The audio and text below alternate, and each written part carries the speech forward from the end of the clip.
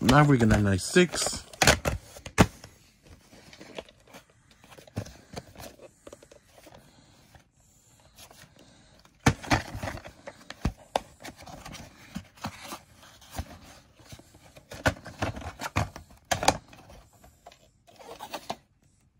First week in 1986.